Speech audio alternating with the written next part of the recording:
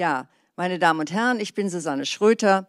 Ich leite hier das Forschungszentrum Globaler Islam an der Goethe-Universität im Verbund normativer Ordnung. Frau Schmidt hat das eben schon ausgeführt. Ich bin Ihre Gastgeberin und äh, ich freue mich, dass Sie hier sind, dass Sie auch es alle geschafft haben, zu dieser frühen Stunde ähm, hierher zu kommen, trotz aller Corona-Widrigkeiten, die uns auch schon in der Vorbereitung ähm, einiges abverlangt haben. Äh, wir hatten ursprünglich andere Pläne, mussten das ständig äh, wieder neu justieren, weil auch an der Universität natürlich äh, immer reagiert wird auf neueste und aktuelle Zahlen und Vorgaben der Politik. Jetzt haben wir also hier eine 2G-Regelung und äh, wir können glücklicherweise ohne Masken und ohne Sicherheitsabstand hier sitzen. Das erleichtert äh, doch einiges. Ja, mein ganz herzlicher Dank äh, gilt natürlich unserer Schirmherrin, Staatsministerin Lucia Puttrich, mit der wir schon häufiger zusammengearbeitet haben, immer sehr produktiv zusammengearbeitet haben. Und äh, die mein Dank gilt natürlich auch dem Forschungsverbund normativer Ordnung, ohne den das, muss man ganz klar sagen, hier nicht möglich gewesen wäre, weder von den Räumlichkeiten her noch finanziell. Und äh, auch dafür sind wir den Kollegen und Kolleginnen sehr dankbar, die uns immer wieder unterstützen.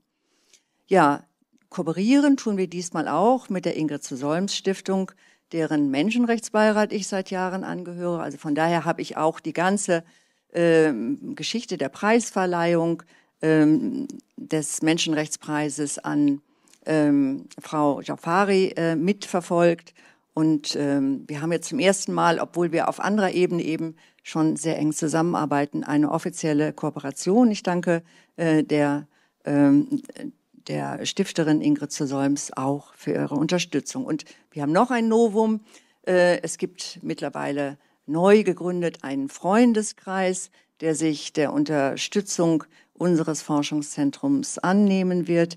Und ähm, was dieser Freundeskreis genau ist und äh, wie Sie vielleicht auch Mitglieder dieses Freundeskreises werden können, das äh, können Sie im Anschluss an die Konferenz erfahren, wenn wir uns noch zu einem Get-Together äh, zusammenfinden. Ich danke jetzt auf jeden Fall schon denjenigen Mitgliedern des Freundeskreises, die hier sind und die jetzt schon hier diese Konferenz unterstützen.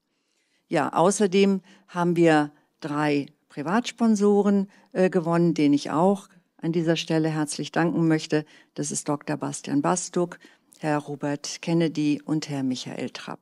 Wir sehen, ähm, so eine Veranstaltung lastet äh, auf, auf vielen Schultern und viele Menschen tragen dazu bei, dass das äh, tatsächlich äh, funktioniert.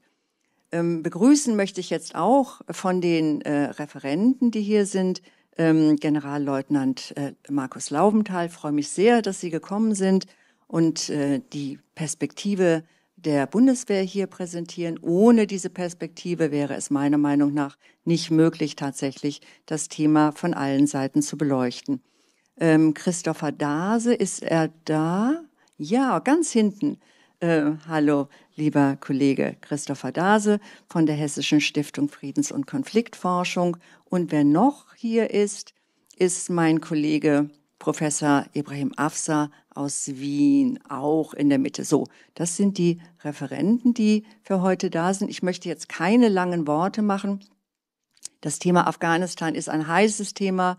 Äh, als die Taliban in Kabul einmarschierten, da gingen Schockwellen durch die Presse und äh, vielfach äh, ja war, war völliges Unverständnis. Wie konnte das passieren? Wer hat da was falsch gemacht? Äh, aber auch was was lernen wir jetzt eigentlich daraus? Ja, wie beurteilen wir die Situation? Ist das jetzt ein Desaster oder lief unterm Strich doch vieles ganz gut? Ähm, was hätte man besser machen können? Hätte man eigentlich was besser machen können?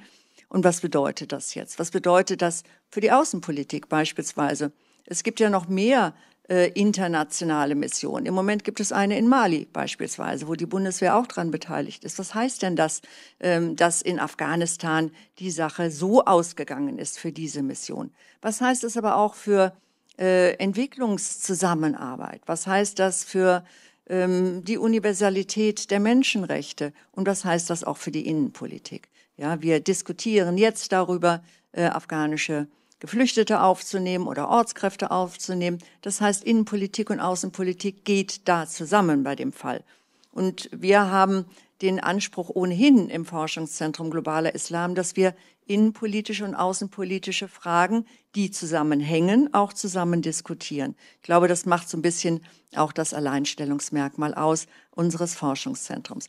Das ist jetzt sozusagen der Werbeblock in eigener Sache, weil wir viele Veranstaltungen machen, aber auch viele Menschen nicht wissen, was wir sonst noch so tun, die vielleicht nur auf einer Veranstaltung sind, haben wir eine kleine Broschüre über die letzten ähm, ja, Jahre seit 2008, seitdem äh, wir hier mit der Arbeit begonnen haben, zusammengestellt, die Sie außen dann mitnehmen können, damit Sie sich auch weiter informieren können. Ja, dabei möchte ich jetzt erstmal belassen, weil unser Zeitplan doch auch äh, sehr straff ist. Freue mich sehr, dass Sie alle hier sind und äh, wünsche uns allen lebhafte Diskussionen und äh, gebe jetzt wieder weiter an Frau Steinhüber.